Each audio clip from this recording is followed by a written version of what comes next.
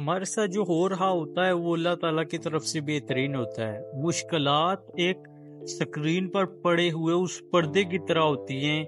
जो पर्दा जब हट जाता है तो हमें बहुत ही इंजॉयमेंट मिलती है। एक नई दुनिया मिलती है। कहते हैं कि जब टाइटेनिक अपने सफ़र पर रवाना होने वाला था तो एक शख्स जिसने अपनी सारी जमा पूंजी लगा दी उस टाइटेनिक की एक राइड के लिए। सिर्फ़ एक मरतबा उस टाइटेनिक में बैठने, सफ़र करने के लिए, क्योंकि टाइटेनिक के मतलब ये कहा जाता था कि ये तो कभी नहीं डूबेगा। ये सबसे महफूज तरीन जहाज़ है। कभी ना डूबने वाला जहाज़।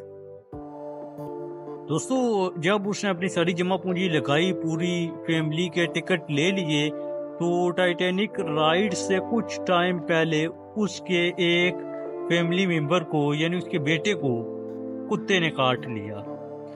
अब वो बड़ा परेशान हुआ कि मेरी सारी जमा पूंजी एक तरफ़ है और दूसरी तरफ़ मेरा बेटा है। इसको छोड़ नहीं सकता, सारी जमा पूंजी गवा भी नहीं सकता। उसकी बीवी ने जाने से इनकार कर दिया। अब वो भी क्या करता? अब उसने भी अपने बेटे के लिए उस सारी जमा पूंजी को जाने दिया। टाइटैनिक में बैठने से इनकार कर दिया। यानी वो अब सिर्फ़ अपने बेटे की हिफाजत के लिए उस सफ़र से रुक गए। जहाज़ रवाना हो गया। वो एक लम्हे के लिए पछताए कि उन्होंने सारी जमा पूंजी गंवा दी है। उन्होंने सबसे बेहतरीन जहाज़ जो उस वक्त कहलाया जा रहा था, कभी ना डूबने वाला उसमें ना बैठकर ज़िंदगी का सबसे बड़ा इंजॉयमेंट का मौका खो दिया। लेकिन वो नहीं जानते थे कि अल्लाह ताला निज़ाम कुदरत कैसे चलाता है। अल्लाह ताला का निज़ाम कुदरत बेहतरीन तरीके से चलता है। इसके बाद जब टाइटैनिक रवाना हुआ और थोड़े अर्से के बाद ये खबर आई कि टाइटैनिक डूब चुका है तो वो बंदा इतना खुश हुआ कि उसने अपने उस बेटे को काटने वाले कुत्ते के साथ इतना लाड प्यार किया, क्योंकि उस कुत्ते की वजह से वो पूरा खानदान बच गया था। हकीकत में ये अल्लाह ताला का निज़ाम कुदरती था, जिसने उन्हें बचाया।